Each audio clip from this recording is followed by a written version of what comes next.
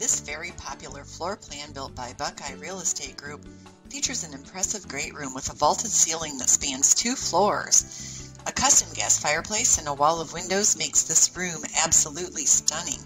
A two-story open foyer with a beautiful chandelier and hardwood floors makes an inviting entry. The kitchen also has hardwood floors, granite countertops with a tile backsplash, stainless appliances, and an island. The laundry room is located just off the kitchen on the first floor.